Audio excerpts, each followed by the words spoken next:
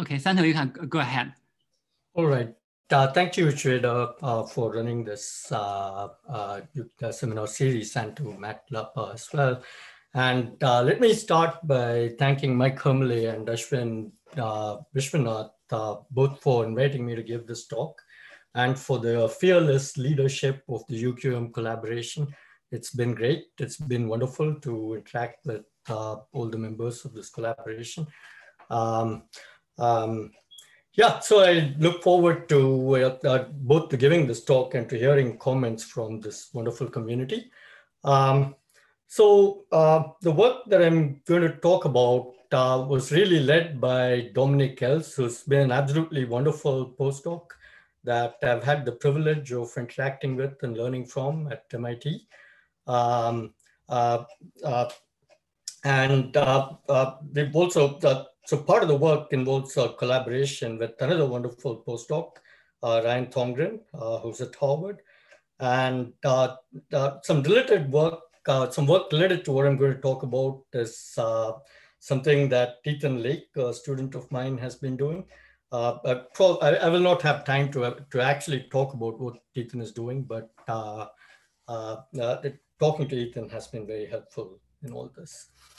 Okay, so uh, a great example of ultra quantum matter is provided, you know, things, uh, uh, an example of a great example that actually exists in experiments of ultra quantum matter is provided by these non-Fermi liquid uh, metallic ground states.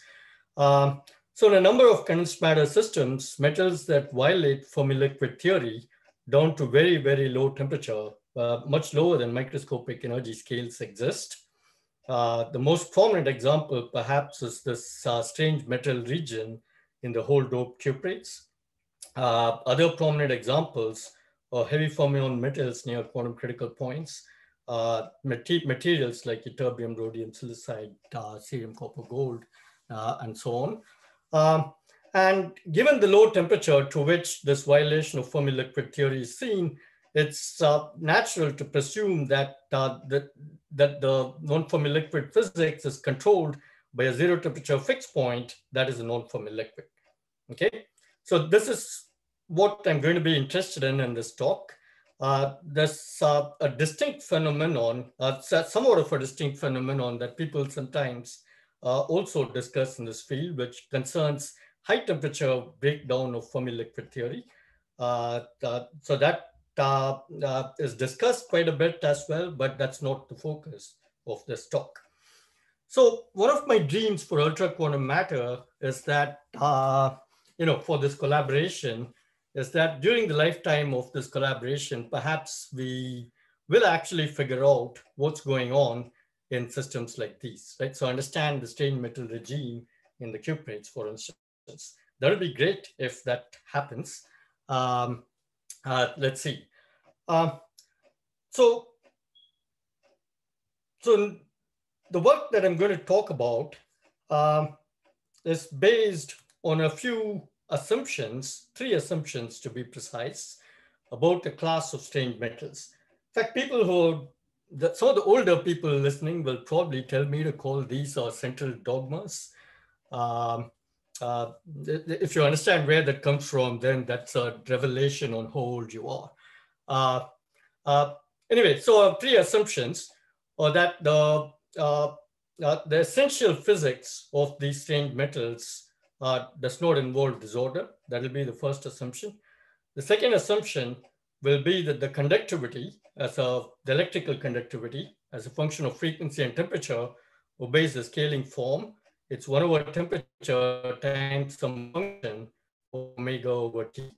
Low omega and low t, but ratio omega over t arbitrary, with this function having a non-zero value at when its argument is zero. So at zero frequency, the conductivity then goes like one over the temperature. Now that, of course, is the famous uh, translated into resistivity. It tells you the resistivity is linear in temperature. So that's the famous DC linear resistivity of many strange metals. Hope that certain the frequency dependence follows the scaling form. And the third assumption is that the strange metal is compressible. Okay, so these are the three main assumptions that we're going to make. And we'll explore the consequences of these assumptions and more rest of the talk. But before I go there, I want to spend a few minutes talking about why we make these assumptions. Okay, um, so why these assumptions? First, uh, the, the first reason is because they're extremely well motivated by experiment on the cuprates and on on quantum points. So it's an experiment. Experimentally, these are reasonable statements to be making about the data, uh, as, as we'll see. Um, uh, now, there's also a theoretical reason. Uh, uh, these are interesting assumptions to make theoretically, uh, precisely because, as we'll see in this talk, uh, these assumptions are mild assumptions. We're not making about the system, just making sure that it's clean, that it satisfies scaling, and that it's compressible. But despite being mild, uh, these assumptions constrain the theory uh, very strongly, and hence our eventual phenomena that we're interested in, uh, making these assumptions helps us narrow the range of theories uh, in, in, which we conduct our search. They, uh, helps us narrow that range down considerably. Okay, so question? that's a good theoretical reason. Yeah. Um, if you violate one of the assumptions but maintain, you know, two of them for different choices of the one you violate, is it easy to satisfy the other two? Uh, it depends on which one you violate. Um, for instance, you can violate the conductivity scaling and a Fermi liquid will satisfy those two, the remaining two. Let's how it goes, right? So mm, that question is better discussed after we understand constraints coming from different Okay. Okay. All right, so let's uh, look at the, I want to spend a few minutes talking about the experimental basis for these assumptions, right? So the first assumption is that the essential physics does not involve disorder, okay? So let's see why it's a reasonable statement to making. So I show here strange metal transport on a variety of cuprate materials. So cuprate refers to the copper-based high TC superconductors. Uh, so this very old uh, on strontium copper. Right? Here, doping where the TC is highest, that's where it's in the vicinity of that, that this linearity resistivity is uh, the best seen. And uh, you see the data here, it's linear and uh, uh, down to very low temperature from very high temperature going through room temperature.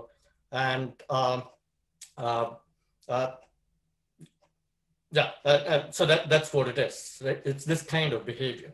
Uh, there's another famous plot on a different cuprate material, a single layer BSCCO, as it's called. Uh, again, the resistivity is linear uh, down to very low temperature, in this case, about 10 Kelvin, starting from about 800 Kelvin or so. Right?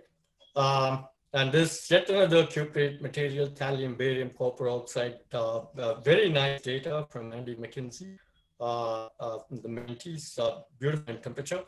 And I want to particularly highlight uh, more recent relative to these ancient papers, more recent paper by Louis Taillefer's group, platinum, strontium, copper oxide, where you suppress the superconductivity of the magnetic field. So then you can study this linearity down to ultra low temperatures. And down to about two Kelvin, the resistivity is completely linear, okay? Uh, so this is what I meant by saying that the linearity persists to energy scales to temperatures that are very low compared to microscopic scales. Now, um, there's an interesting feature about this linear resistivity, which is that depending on the sample, if you make a good enough sample, the residual resistivity is almost zero. So on Keynote, I just drew a straight line through this data uh, uh, on thallium, barium, copper oxide. And as you can see, the extrapolation of the linear resistivity more or less to zero at zero temperature, right? So residual resistivity can be made very, very small and is perhaps even absent in the best samples.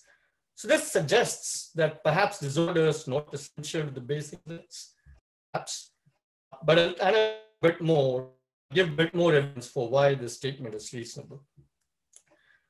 So fairly recent, uh, two years back in this paper, uh, your, uh, the Taillefer's group, uh, uh, you know, amongst other things, uh, the authors collected together the slope of the T-linear resistivity in, uh, in four different hole-doped cuprates.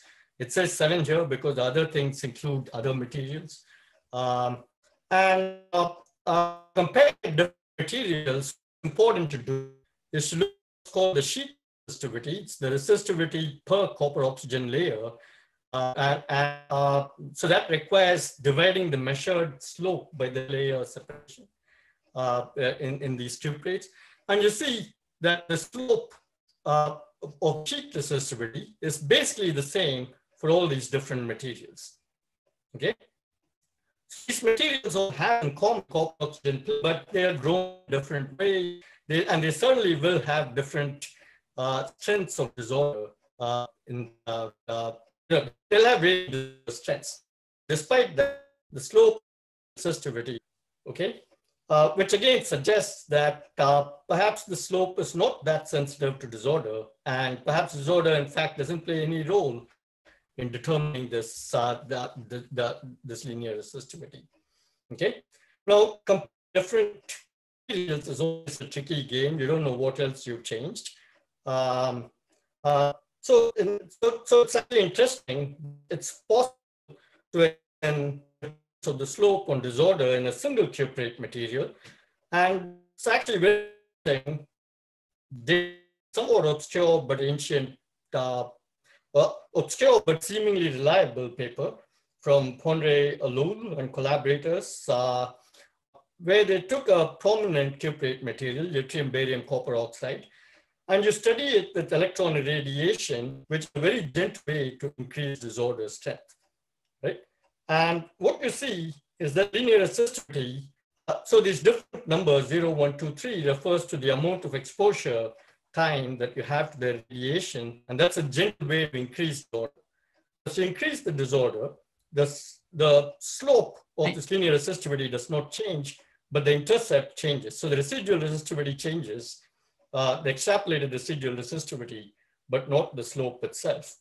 Hey, Santo. So all these kinds of phenomena. Santo, yeah? sorry, the, the audio uh, is not uh, not good. I think uh, maybe you can turn off your, your video. So. Okay. Uh, well, that may be a bit, I'll, I'll tell you what. Um, maybe a bit complicated for me to um, I, am not noticing any problems with the audio. Or maybe oh, really? connection. okay. then maybe it's. Oh, I, uh, I have a lot of issues with the audio. I can still turn off my video. Uh, uh, uh if there's no problem, yeah, if if the audio is good for everyone, they, then you, yeah, you can stay stay the stay. Bad for me, and a lot of people are saying. Yeah, maybe, Oh, that's for some people, it's fine for me. Oh, I see. Let me see. Wait, uh, that's my button of video. Uh,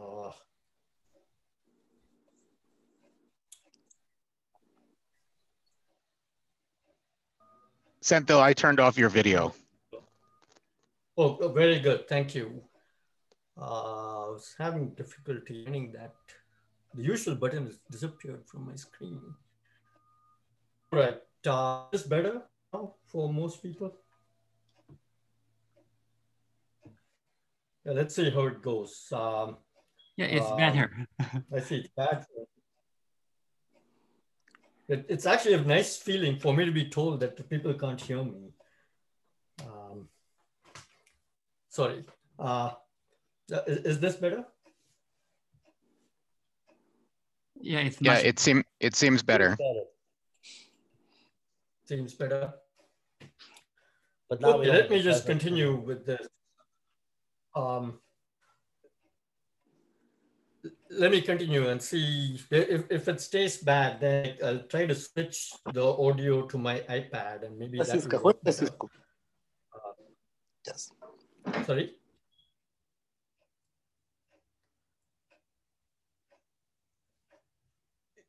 Okay, let me just continue. And uh, someone should stop me if uh, people can't again. Okay.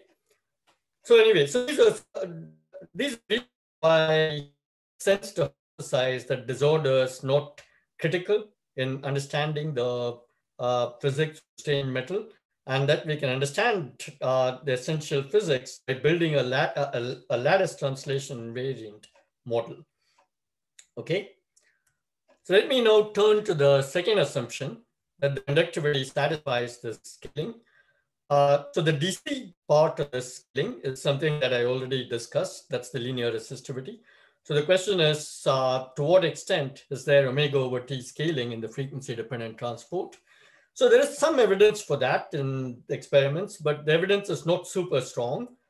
Um, uh, so I show here uh, measurements of the real part of the conductivity uh, in the in a cuprate in a layer a function of number. You should just think of that as this is frequency. Um, and uh, so actually there's a lot of data in these measurements. Uh, the one thing that everyone notices immediately is this tail at high frequency. I'm actually not going to talk about this tail at all. This tail has a polar dependence, but it goes up to, uh, so this scale corresponds to about an electron volt. Uh, so it's probably, my guess is that it's probably not related to any zero temperature quantum criticality, but that's a totally different discussion. Instead, uh, the thing to focus on is what happens the, at the low frequency end, of this uh, data. And the same authors tried to scale the low frequency part of the data versus so uh, uh, as KBT sigma of omega on the uh, y-axis versus h bar omega over KBT on the x-axis. And that's reasonable scaling, at least out to frequencies of order 1.5 times temperature before it starts going uh, deviating. And the deviation at high frequency from running into this tail, which presumably has a different origin from uh, whatever is giving this near scaling. Now, much more recently, just this year, uh, a few months back, there was data on a heavy fermion quantum critical system, which again uh, gave some evidence of conductivity scaling as a function of omega over t. Again, this is, uh, it's great as a first look at the possibility of scaling but there's a lot more that needs to be done here. Uh, the scaling exponent is not quite what one would expect based on DC transport. But if you restrict to data below 5 Kelvin, uh, th then you get indeed the right kind of uh, scaling exponents. So that's just, but it's not completely standard experiment. Okay, so the final assumption is the strange metal is compressible. And you know, there's not really doubt any of the literature on this uh, problem, uh, but it's actually very not very well explored experimentally. Um, uh, one piece of evidence uh, supporting this is that the distributive metal point in the cube occurs at different things in different materials. And uh, very recently, uh, two years back, it was shown that at least in one material, you can tune the location of this critical point by pressure. Uh, uh, there's a paper by Louis Taillefer's group from two years back that suggests the critical doping is not pinned to any special value. So anyway, that's the evidence. That's the uh, the experimental reason supporting these uh, assumptions. Um, now, if if you're if you're the kind of person who whose eyes glaze when looking at experimental data, you can start relaxing now. I won't show any data for the rest of the talk. So in the rest of the talk, I'll take granted assumptions and ask strains that follow on the IR theory. Okay. So the plan for the rest of the is to uh, look at assumptions one and three. So we think think generally about compressed spaces and with lattice translation symmetry. Uh, we'll be thinking about Landau Fermi liquids and Luttinger's theorem. And then we'll think generally about the compressible. Uh, and then towards the end of the talk, combine our understanding of uh, compressible phases in general with the uh, with assumption two on the scaling transport. And it out that general this leads to a number of statements about tra transport uh, uh, in the in a metal that satisfies these assumptions.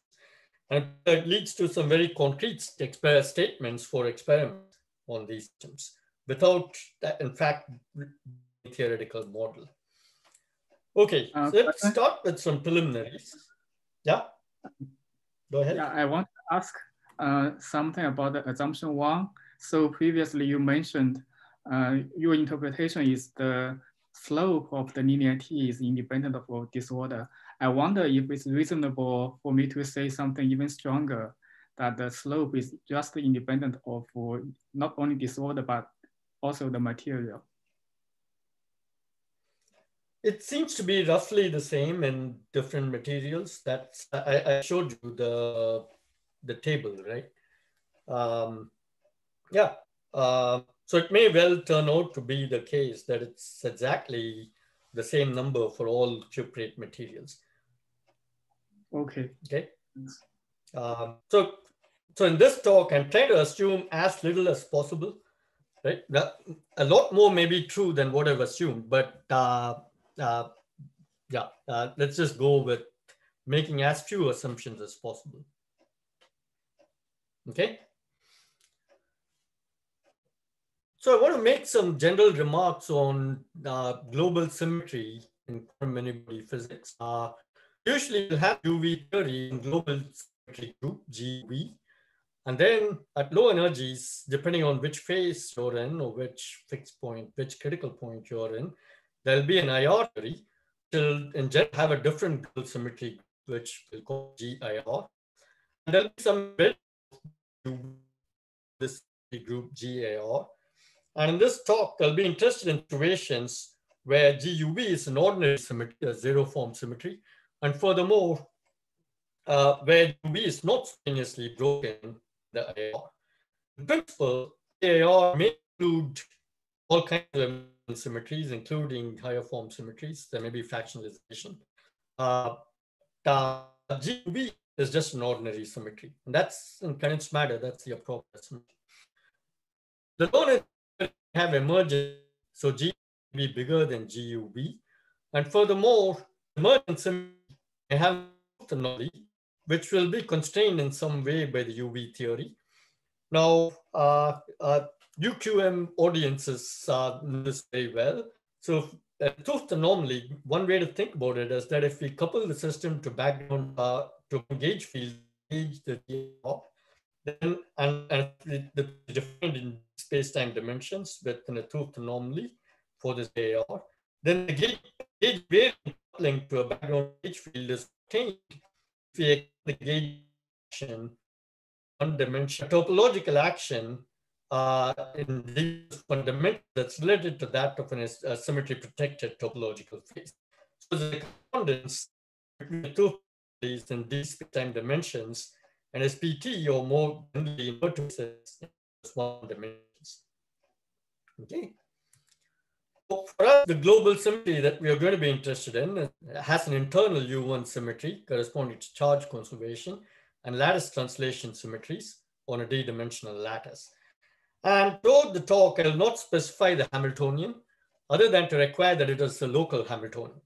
Okay, so this includes almost everything that we are typically interested in in condensed matter physics, uh, Hubbard model and its variants, but it doesn't include everything because it doesn't include the SYK models uh, because not typically do not have lattice translation symmetries.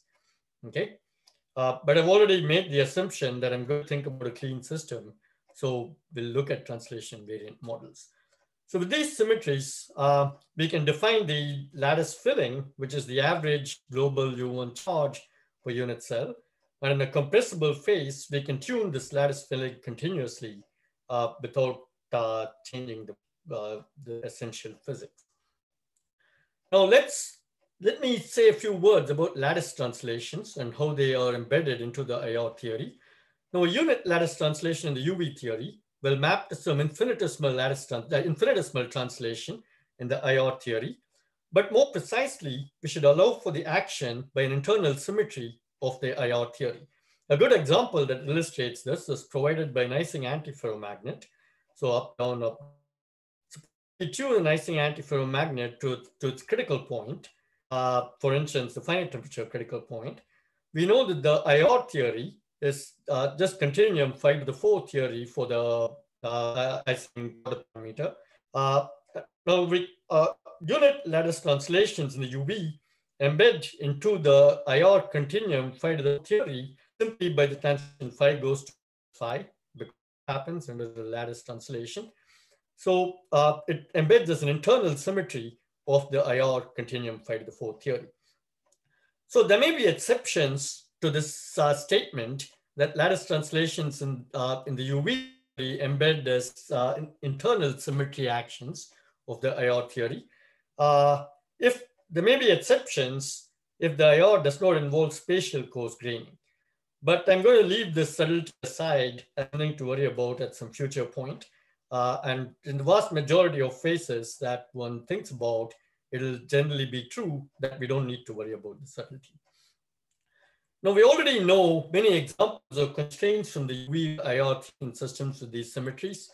The most well-known example is that trivial insulators, that is things that you can deform to band insulators, need integer filling per, per flavor, per spin, for instance. Uh, um, we, we all know the Lieb-Schultz Mattis Oshikawa Hastings theorem that if nu is P over Q, uh, ground states that preserve these symmetries must either have topological order or be gapless. And finally, Luttinger theorem uh, in a Fermi liquid that fixes the volume of the Fermi surface uh, uh, divided by 2 pi to the d to be equal to nu mod modulo an integer. And Luttinger's theorem, of course, uh, was proved by Luttinger in the 1960s. And as uh, many people, many of you know, uh, there was a nice non-perturbative argument by Oshikawa uh, 20 years back. Okay, so let's briefly think about the most famous, well-known of a phase in a clean system, which is the Landau Fermi liquid. And we'll revisit Landau Fermi liquid, Luttinger's theorem, set the stage for thinking about more general compressible phases. Okay, let's take liquids in terms. So the UV lattice z squared. And the IR theory uh, in Fermi liquid theory has quasi-particles near a sharp Fermi surface with the, uh, with the standard liquid Hamilton, where K is particle number point K of the Fermi surface. Okay. Now, uh, the question we're interested in is on the emergent symmetry of Fermi liquid. Now, the colloquial way of uh, understanding is to say that the quasi-particles uh, are, conserved for each Fermi surface point. Uh, now, more precisely, what this means is that for each point on the Fermi surface, there's a conserved charge density n theta such that n theta d theta the number of particles theta and theta d theta. Here there's any coordinate that labels the, uh, the circle that uh, is the, this loop that uh, describes the Fermi surface. Okay. So general IR symmetry element uh, is generated by this n theta d theta. So it's uh, objects of the family i times integral d theta f of theta and theta for smooth functions f of theta. And these define smooth maps from a circle to the group U1. And these maps form a group, which is known as the loop group that are mainly familiar to people from 1D, 1 plus 1D conformal field theory. Uh, and this, uh, uh, so we'll call this loop group, uh, this particular loop group LU1. We'll identify this with the GIR in the Fermi liquid. So the next thing we want to understand is how to embed the microscopic symmetries, uh, conservation lab translation uh, into the this low energy, the, into the GIR. The total charge is obviously integral d theta and theta. So that's uh, uh, we understand. Now, unit lattice translations along, say, the x or y direction embed as e to the minus i integral d theta kf alpha and theta, where alpha is either x or y, uh, uh, and I've chosen the lattice constants to be one. So, uh, so so clearly both U1 and lattice translation to the UV, we've identified what elements of the LU1 IR symmetry they embed into. In fact, we can take the action of lattice translations on the IR theory to define the Fermi momentum in the IR theory. in a Fermi liquid, there's many ways to define the Fermi uh, uh, momentum, and uh, th this is a way that will be convenient for, you know, this is a nice way to define it, which generalizes to known liquids. Now, this emergent symmetry of the Fermi liquid has an, has an 't Hooft anomaly, and a physical manifestation is that if we turn on an external electromagnetic field, for instance, in an external electric field, the entire Fermi surface gets displaced in the direction of the electric field, which destroys separate conservation of all the n thetas. Uh, only the total charge is conserved. A more entertaining example, a more uh, interesting example is with a uniform external magnetic field. Then we know that the quasi-particle moves around on the Fermi surface through a V cross B force. And that clearly destroys the separate conservation of each and theta, but only preserves the total conservation of charge. So that's the physics. Now let's study this formally by coupling to background gauge fields. Okay. Uh, so uh, for GIR being this loop group LU1, the gauge field, uh, so we have to ask what the gauge field is that couples to this loop group, right? So the gauge field will involve objects that come, you know, A0, AX, AY, and an additional, so these are just the ordinary electromagnetic field, and an additional A theta corresponding to the theta direction. And in principle, we should take all of these as functions of t, x, y, and theta. So that's, we have a four-dimensional gauge field. Uh, and that's what it really means to, to have a gauge field that couples to this loop group LG1. Now this A theta component has a nice interpretation as a Berry connection on the Fermi surface. It tells us how to, how to move in the theta direction along the Fermi surface, okay? So naturally, with a four-dimensional gauge field, any anomaly will be related to a 5D topological action of a U1 gauge field, okay?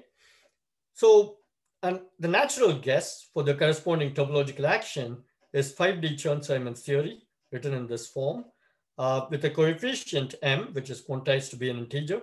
And the claim is that m equals plus or minus one correctly captures the physics of the Fermi liquid.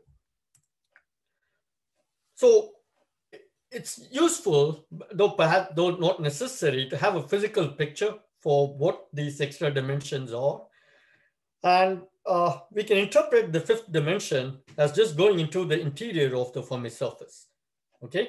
So then we can think of this 5D U1 gauge field as living in two space, one time, and two momentum directions. And then we think of the Fermi surface itself as a boundary of the rigidly occupied Fermi sea. So in that sense, these five dimensions correspond to four space, phase space dimensions and one time. And in current matter physics, there are other instances in which people have found it useful to introduce phase space gauge fields. For instance, this paper by Shouliang, T and collaborators.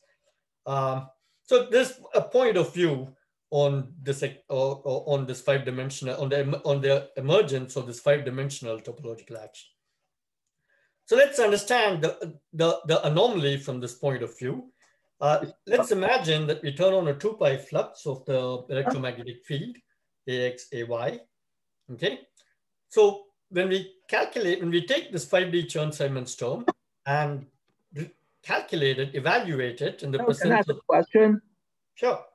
Yeah, right. So, so if I if I bend the uh, if I bend the uh, Fermi surface to be straight lines, well, then uh, then the anomaly is just like a uh, just like a collection of one-dimensional uh, liquid or, or one-dimensional yeah. The left and right moving uh, chiral modes. Right. So, so the U1 anomaly, just a chiral U1 anomaly, uh, anomaly in, in one plus one dimension. So that's so, so how does this uh, five-dimensional response theory res re respond to uh, uh, the seemingly simpler uh, anomaly in the uh, one plus one dimensional chiral U1 anomaly? Uh, yeah, so that's a very special case. If you want to imagine a completely straight Fermi surfaces, no, no hopping in the, just a collection of 1D wires or something. well, essentially, essentially, I think it is. It so physically, it's the same anomaly, right? If I yeah, if I so just, so the electric field part of so I talked about the magnetic field. I am in, in the process of talking about the magnetic field. You could ask about the electric field response given by this uh, uh, anomaly, right, where the entire Fermi surface display, uh, you know, is displaced. Now, if you go to the special case of these straight Fermi Fermi lines, uh, the 1D anomaly is, is the exact same thing, right? The entire Fermi points in 1D displaced in the direction of the electric field. So that will be captured by this the same theory, the same uh, the same story. Okay, but for what I'm going to do, it's uh, more interesting to think about the magnetic field. Okay. Yeah. Okay. Uh, right. So so so you are saying that if I if I if I really do this uh, uh do this uh straight line Fermi surface, then the, then the 5D Chern-Simons system will, will reduce the ordinary uh, 3D Chern-Simons system or? Yeah, so the effect of the electric field, the, the fact that the in, in an electric field, there's this displacement of the Fermi surface that is captured correctly. So, and that is the anomaly in 1D. Yeah. Right? Okay. If I may ask two questions. One is, uh, how do we understand locality in this five-dimensional space. And second, two of the coordinates are x and y, and two others are kx and ky. Should we think of them as commuting or not?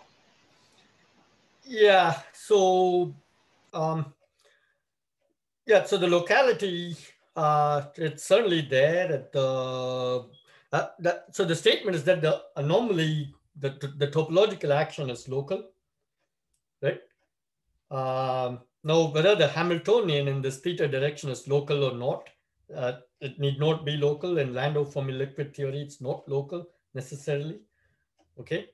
Um, uh, but the topological, the, uh, what we call the kinematic aspects, they are local in this theta direction. Okay.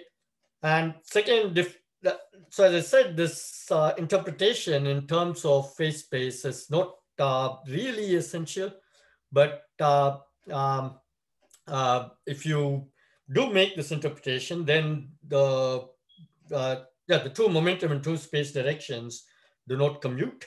But if you're looking at very long distance, the you know looking at the long distance uh, action, right? So this non-commutativity does not matter for, for these long distance variations. Okay. Thank you. Sure. Okay, so if you evaluate this 5D Chern-Simons term for this configuration, then for the remaining three components, it reduces to a 3D Chern-Simons action. And, uh, and, and, and, and, if you then evaluate it at the boundary theory, uh, uh, which is the, uh, the theory at the Fermi surface, then the n thetas, which commuted in the absence of the external 2 pi flux, now they stop commuting and uh, their algebra, their commutation algebra is given by the familiar uh, uh, Kac-Moody algebra of a chiral 1D fermion. So this ties in very nicely with the expectation that in a magnetic field, the quasi-particle moves chirally around the Fermi surface, okay? Uh, okay, so it's interesting to give an interpretation for this result in the following terms. When we turn on this 2 pi flux for the electromagnetic field, this 5D Chern-Simons term reduces to a 3D Chern-Simons term, the remaining three components. So interpreting the remaining three components as time and the two momentum directions, we see that what this 3D Chern-Simons term describes is an integer quantum Hall effect in momentum space in the interior of the Fermi surface, right?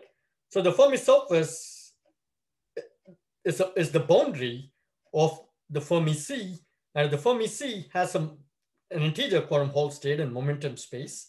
Then right at the Fermi surface, we expect to find a chiral fermion. And of course, that's what we know from standard semi-classical physics, that there's a chiral fermion in the magnetic field at the Fermi surface. Okay? A really nice observation is that Luttinger's theorem follows directly from this anomaly. So in the UV theory, when we turn on a 2 pi flux, discrete unit translations will no longer commute. a simple way, a heuristic way to understand this is to uh, imagine moving 2 pi flux around the plaquette this way, right? And uh, if there's an average charge of nu per site, then uh, moving the 2 pi flux around this circuit will lead to an Aharonov-Bohm phase of 2 pi times nu. So that's basically this equation. And we want to calculate the same thing using the embedding of these translations in the IR theory. So in the IR theory, translations are given by this. And in the presence of 2 pi flux, we know this commutation algebra. So then we can calculate this commutator. And equating these two things directly gives us Luttinger's theorem. Okay, so that's the anomaly point of view on Luttinger's theorem. Now it turns out that apart from Luttinger's theorem, uh, several of the universal properties of a Fermi liquid follow just from knowing its emergent symmetry and its anomaly. I already mentioned the response to electric fields, uh, quantum oscillations, and so on and so forth. So these properties, which we call the kinematic properties, must be distinguished from dynamical properties, which can also be universal and that require knowledge of the details of the Hamiltonian, for instance, the Fermi velocity or something. Okay, all right. So that's about Fermi liquids. So now let's move on to uh, more general compressible phases. So the main, one of the main results here is a theorem that uh, for any irrational filling nu in d bigger than one, with GUV being U1 times lattice translations, the emergent internal symmetry GIR cannot be any compact Lie group. It has to be much, a much bigger symmetry than a compact Lie group. So there's various ways of understanding this theorem. Uh, I've sketched here uh, a simple way of thinking about it in two dimensions, but there's also uh, uh, uh you know completely serious proofs uh, that my wonderful collaborators managed to prove. Um, since I'm running short of time, I won't uh, describe the argument, but so, so there is this theorem uh, that it gives you a very general constraint on compressible phases. So Fermi liquid satisfies this as the LU1 symmetry group is infinite dimensional. Okay, uh, but if you just postulate something else, uh, any other compressible state had better satisfy uh, this feature that GIR must be bigger than a compact Lie group. Okay, so what can we expect once we go beyond Fermi liquids? So what the, the, the important question from this point of view to ask is what is the emergent internal symmetry of a non-Fermi liquid metal with, uh, uh, uh, with this GU1 of a compressible non-Fermi liquid metal? So there's two distinct possibilities that this theorem allows. The first is that the emergent symmetry is still an infinite dimensional emergent symmetry, maybe the, even exactly the same as a Fermi liquid, or perhaps some small variant thereof. So this is what we call an ersatz Fermi liquids. And there's many examples uh, of ersatz Fermi liquids that uh, uh, already exist in many constructions. For instance, the uh, standard theory of a Fermi surface coupled to a critical boson uh, would be an example of an ersatz Fermi liquid. And there's many, many others as well. So this will include a huge class of non-Fermi liquid metals that be consistent with the theorem. A, a, distinct possibility is that the emergent symmetry group is finite dimensional but non-compact. Now, we do not know whether there's actually a legal possibility for an internal symmetry in any state of matter, in any theory. Uh, there's uh, some seemingly good arguments to suspect that it may not be, but we don't really know. So for that reason, I'm just going to ignore this possibility and talk about this ersatz Fermi liquid. Okay. So, uh, so in a ersatz Fermi liquid, even if the IR, GIR symmetry and the anomaly are the same as in the ordinary Fermi liquid, the detailed dynamical properties can be very different. It's only the kinematic properties that will be the same. But in particular, this infinite dimensional continuous symmetry means that there's an infinite number of emergent conserved quantities. And that in turn has extremely strong implications for thinking about transport and other dynamical properties than such non-Fermi liquid metals. Okay, So let me just say a few things and then I'll finish. Uh, uh, I, I can't see the time. Is, how am I doing on time? Uh, minus two minutes. Oh, minus two minutes. Uh, yeah, can I speak for maybe three or four minutes more, or uh, you want me to just stop? Yeah, I think you can you can go ahead. All right, uh, I'll try to keep this quick. Uh, uh, so, so far, I've only talked about the consequences of assumptions one and three, that there's no disorder and that it's compressible. So now let's combine it with this assumption of conductivity scaling and ask what happens. Okay. Uh, so there's an assumption too that this omega over t scaling in the conductivity uh, means can be shown to mean that strange metal transport must be an intrinsic property of the fixed point theory. So there's an immediate tension with the existence of an infinite number of emergent conserved quantities that's basically implied by assumptions one and three, uh, because mixing of current with a conserved quantity will lead to an infinite conductivity. So this statement is probably familiar to many people from uh, situation from uh, systems where the IR theory conserves momentum. Um, because I'm out of time, maybe I'll very only very briefly describe this.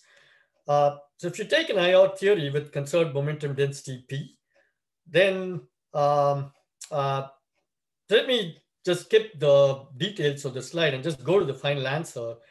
Uh, then it, it's known that the real part of the conductivity has a delta function piece that comes from the mixing of current with momentum. So this numerator, which involves a susceptibility that tells you how much the current mixes with the momentum. Uh, and there's a denominator that involves the susceptibility of the momentum density itself. Now, in a, in a simple theory, uh, chi jp will just be the charge density and chi pp will be the mass density.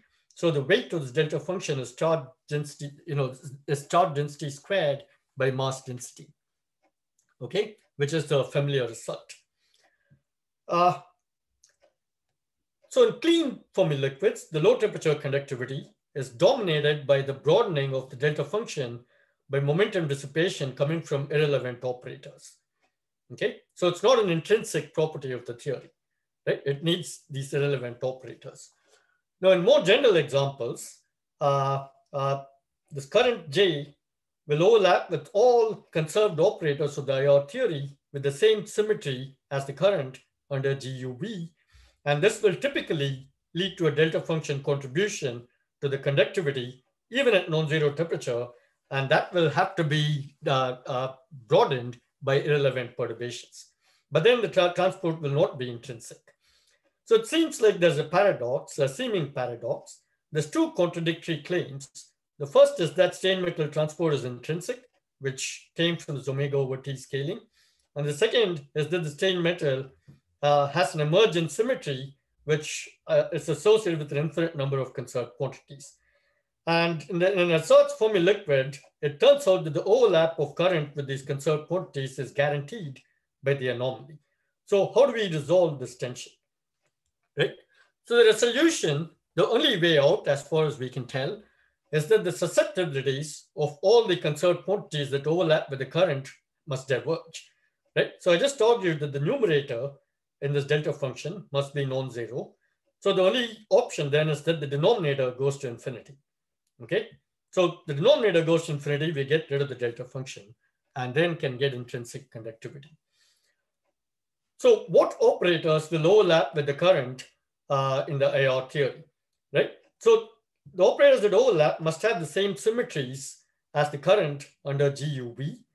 So such operators must be odd under time reversal and inversion they must have zero crystal momentum and they must transform as a vector under lattice rotations, right?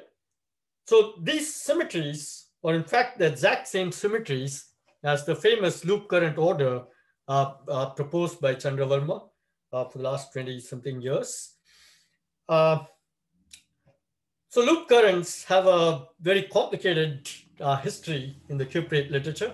They've been advocated by Varma for a long time, and amazingly enough, there are many, many reports of static loop current order in the pseudo gap regime. and a equal, equal number of controversies, equal number of papers that contradict, that refute these reports. So there's a lot of confusion on what's the experimental situation actually is. And it's theoretically, it's never been clear, uh, at least to me and maybe to many others. Uh, maybe it's been clear, the opposite has been clear to Chandra, but it's never been clear to me how it helps understand the basic phenomenon of the pseudo gap. Okay, so what we see is that we now have a completely different rationale for critically fluctuating order with the same symmetries as this loop current order in the strange metal, right? So, uh, so maybe it's there actually, uh, but for reasons which perhaps could be different from uh, what Chandra was thinking about. So let me just finish here. There's a couple of other experimental tests of these ideas, but let me skip those and we just put up the summary set. Sorry, I went over by a few minutes. Yes. Yeah, thanks, uh, Senthil, for the very great uh, talk. Uh, uh, although we uh, run out of time, but uh, I believe there are many questions. If everyone doesn't mind, let's take five, five more minutes to ask questions with Subir. Hi, Senthil. Uh, the picture you showed of the loop order has a mirror plane uh, along the diagonal. Um, so, but there are other uh, orders uh, which don't have any mirror planes, like the chiral spin liquid. Isn't that also a possibility? Uh, See, this one is in fact not odd under reflections along the diagonal. Uh, and really, you shouldn't say inversion, you should say mirror. Yeah, uh, I, should say reflection, right? The, yeah, mirror, mirror planes or reflections. It's not inversion. Uh, but this one is even under a mirror plane along the diagonal. So as a along consequence, this diagonal, right? No, along this no, diagonal. The other one. No, the other diagonal. Along this guy, it's odd, right? If I reflect about this plus goes to minus. No, no, if you just look at it, uh, the arrows are pointing in the same direction. It's, it has a mirror plane symmetry, which is why it's sigma xy is zero. But there's other patterns which are consistent with David Scher's recent experiment and that he talked about last week, uh, which are which don't have these mirror plane symmetry, and that's simply an orbital ferromagnet, which is the same symmetry as a chiral spin liquid. I think that's uh more compatible with what the kind of thing you're talking about. I have to run because I'm teaching in a few minutes, but okay. Well, I, I, I, let, let, me think that through. I'm aware of David Scher's. Uh, yeah, no, this. You yeah, I, I might have pulled out the wrong picture. That's. Uh, you need all mirror planes to break, and this Varma's patterns do not break certain mirror planes, and that's why they're not exactly what you require.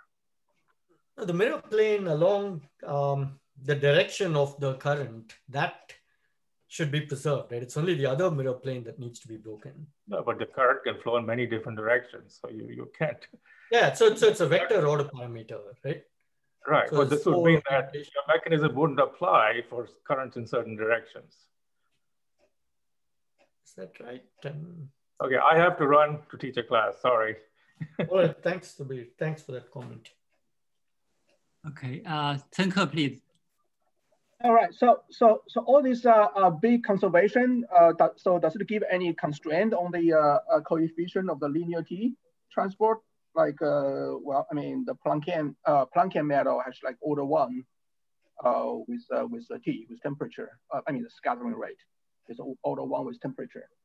So, yeah, so constraint. In, in this story, you know, we've not said anything about Planckian or anything, right? But but we do assume that the conductivity satisfies omega over t scaling. So if you wish, you know, there's always a question of how do you define the scattering rate in a non-Fermi liquid? You know, that's a, a weak coupling concept.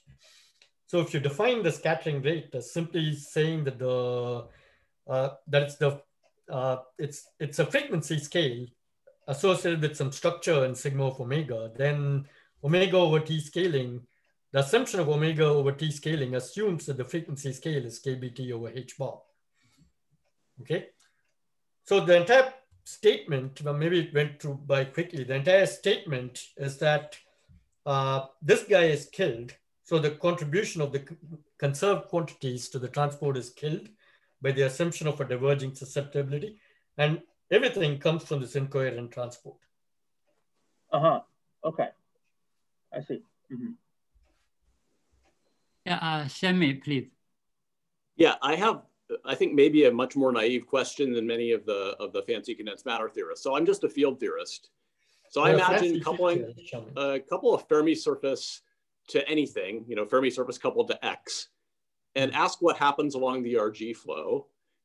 And to my naive intuition, the infinite number of conserved quantities that led to your loop of U1 get broken by the momentum transfer events that occur due to the interaction of the Fermi surface with X.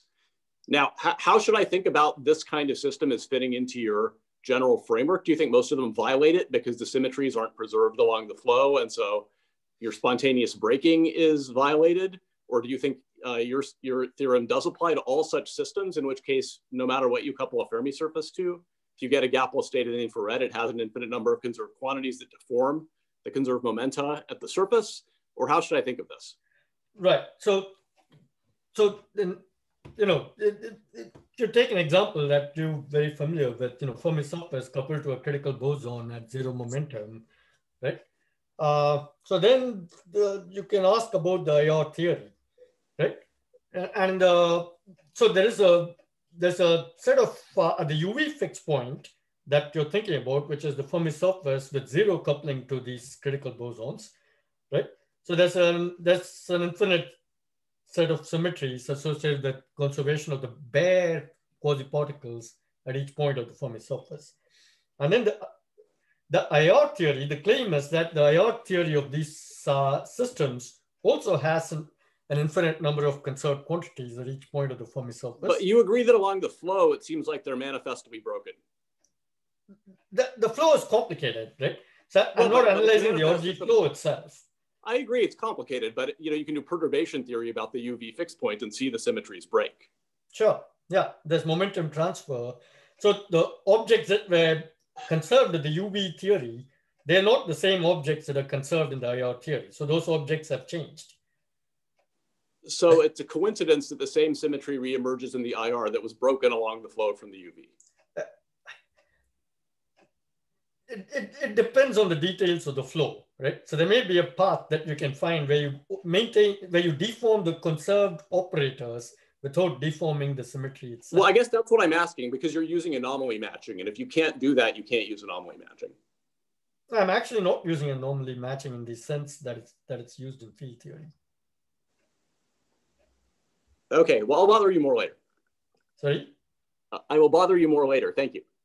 Yeah, no, so, so in, in this story, the, you know, uh, if you accept, and I know that Shamit, at least at some point of his life, didn't quite accept this, but if you accept the standard patch theory that uh, many people, even in this uh, uh, uh Zoom meeting, uh, have worked on, then the standard patch theory um, does have separate conservation of quasi-particles in each patch of the Fermi surface. Right? So if you accept the patch theory, then you certainly have infinite uh, number of conserved quantities in the IR. And you think that, that you think that's true even in perturbation theory about the UV fixed point? I don't know. Okay. I have a variant of this question. Mm -hmm. Is it clear what the lowest dimension operator that violates this symmetry is in the IR? In other words, usually when we have an enhanced symmetry, an emergent symmetry, it's important to understand what is the lowest dimension operator that violates it. It would give us a sense of how accurate the symmetry is in the IR. Yeah, so that requires an actual model, right? So here we don't have, we're trying to do things at a very general level. So we can't calculate any of those scaling dimensions, any of those dimensions. Right? In the absence of a model, it's impossible to make any statement of about the. Yeah, but even in an example, even if it's not the real model, what what what kind of operator can do the job? Yeah, so so I could write down, for instance, in this Fermi surface coupled to a critical boson. Um, yeah, I could write down uh, an operator in the UV theory that involves uh, uh, uh, some four fermion operator that conserves lattice momentum but breaks the all the emergent momentum conservation, right? Uh, what in condensed matter physics would be called an Umklapp scattering event. So I could add that term in the UV theory, and it will have some faith in the IR theory, but uh, yeah, um, uh, I need enough knowledge of the IR theory to be able to tell you. Uh, okay, uh, so in Fermi liquid theory, where we understand everything, we know what the leading such operator is. And that's precisely what's called Umklapp scattering. And it uh, uh, leads to effects where it gives a lifetime for the quasi-particle that goes like one over temperature squared and so on and so forth.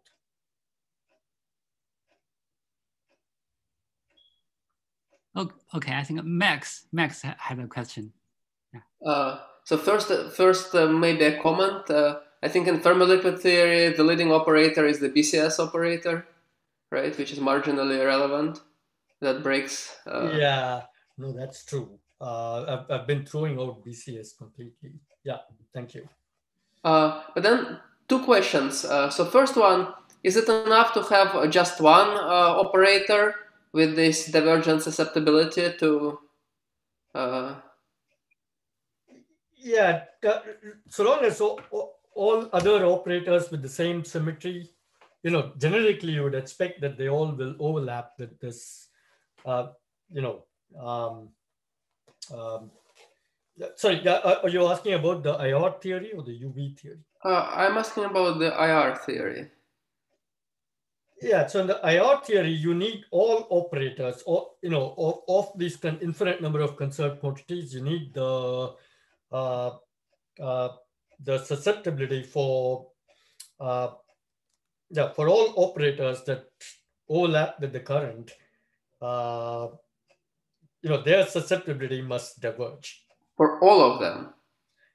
Yeah, so it's a you know, so really there's a matrix involved, right? So the current can overlap with uh, so so the weight the weight that goes into this delta function will be uh, there'll be matrices involved there mm-hmm. right? and yeah you just have to make sure that that matrix has uh, uh, you know that that matrix is such that that coefficient goes to zero i see and i also had a second question related to that so presumably, mm, you know, you, you only have divergence at zero temperature. At finite temperature, it's yeah. probably cut off. So, right. yeah. But uh, right. So, so what happens is uh, what will happen is that at finite temperature, uh, two things happen. Right. First, you will reactivate this uh, bottleneck effect. Right. Uh, uh, because delta function will no longer be its coefficient will no longer be zero. But then you won't have a strict delta function because these emergent conserved quantities, their conservation will be destroyed by irrelevant operators, right?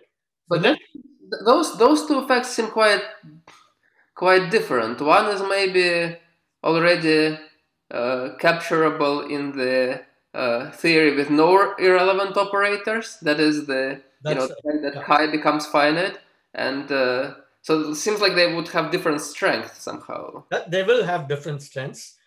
Now you can ask about the total weight associated with, uh, so clearly the weight of the delta function is becoming small at low temperature, right? So even when this, so, so there's two things. There's a weight of the delta function, which is non-zero but small at non-zero temperature. Also, there's a broadening of the delta function coming from the irrelevant perturbations, which, so these are two different effects, right? the net result will be a contribution to the conductivity, uh, uh, which is non-zero, uh, but the weight of that contribution, the total uh, strength in the, in the integral of the frequency of that contribution will become, will be very small at low temperature, right? Mm -hmm. So in principle, if there's big disorder or something, you know, that can just give you a tiny correction to the diverging contribution to sigma coming from the incoherent piece. I see. Okay, uh, due to the time limit, we, we will have the last uh, two questions. I think uh, Damsong can go first and then Taran. Um, hi, hi, hi, Senthil. Uh, I have a question about the divergence of the susceptibility. Um, how, um, how, how general you expect it to be? So for example, it would um, exclude any um, theory with uh, boost invariance, Galilean or Lorentz invariance. Yeah. Yeah, the, the Galilean invariance, the weight of the delta function is fixed to be, you know, n over m, where m is the bare mass of the fermions. Right. But of course, yeah. the kinds of systems we're interested in, they're so far away from Galilean invariance that we don't so, care. Anybody. So if I take a Galilean invariant fermion and couple that to bosons, it seems that the the whole thing is still Galilean invariant. So where? Yes. Mm -hmm. So so so yeah. So there you won't get the uh, you will get a delta function piece. You're guaranteed that by Galilean invariance. Right? So the statement here is not that every theory of a Fermi surface, every non-Fermi liquid will uh, only have the incoherent piece, right? Mm -hmm. That's, you know, we're asking what does it take to get the kind of things that are seen that to to be consistent with the assumptions that we made about uh, say the cuprate strange metal right? So the subclass of non-Fermi liquids that are capable of uh, giving you what's seen is things for which uh, this uh, susceptibility has diverged so that this piece is killed.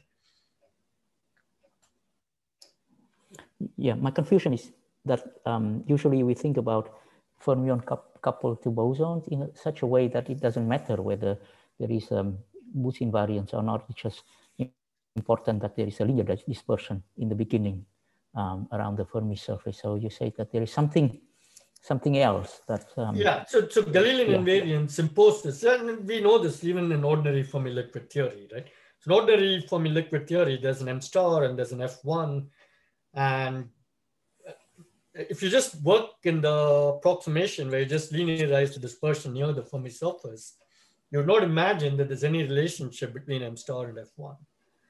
But if you knew that the theory came from a Galilean invariant theory, these are tied together and they're related to the bare mass.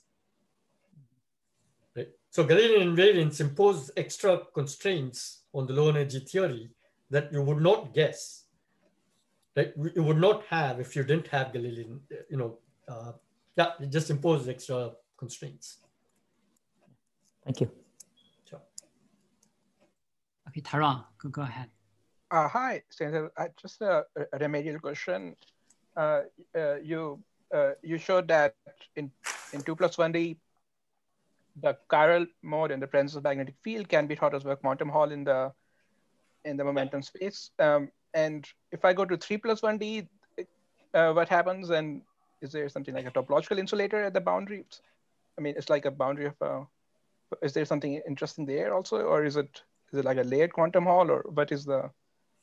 Uh, yeah, I, I mean, I actually tried to think about it from to give it an interpretation in terms of this. Uh, mm-hmm. uh, uh, uh I don't know. Perhaps Dominic has some. Uh, it's Dominic. He may be here. I mean, it, it can be like a, a 4D quantum Hall. I mean, it depends what background field you apply. I think there's some configuration of background fields that maybe becomes a quantum Hall state still. Mm-hmm. Mm-hmm. I see. And then you have to think about these, I guess, the loop space is also slightly different.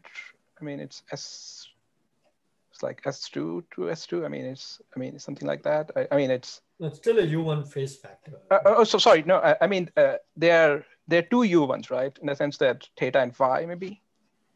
So these are called, I don't, doesn't matter. But I mean, the, the Fermi surface is two dimensional, right? So, so it's not. It's mapped. So it's mapped to U1. Oh. Face is U1, of course. Uh, I understand. Um, maybe you can repeat once more. Sorry, what you're saying? It's mapped from S2 to U1. Um, right. Yeah. Yeah. So, but uh, yeah. Okay. No, that, that that's correct. But uh, the fact that it's S2 to U1 has any different? I mean, is there any qualitative difference from S1 to S1, or is it all? I don't know. Maybe it's doesn't matter. Um, anyway, it doesn't. Yeah, I, I, I haven't thought through this question. That's fine. I, I need to think more. Yeah, the basic story is very similar. Yeah. Okay. The, the okay. pictures and in terms of interpretation, the pictures are. Uh, uh, this I myself, I mean, try to think about the pictures. Uh, yeah, I was just thinking whether the topological terms you're writing look slightly different or, but. Um, yeah, it, it, it, will always be something in phase space, right? So it's right. Uh, no, you know, seven dimensional, uh, mm -hmm. seven dimensional Chern-Simons and so. Mm -hmm. Yeah, two n plus, yeah. Mm -hmm. Um, yeah, okay. Yeah, I think that was all. I, I don't have anything more. Thank you. Okay. Yeah, yeah, thanks. Okay, let, let's thank Senthil again for the great talk. Um, Thank you. Let me stop.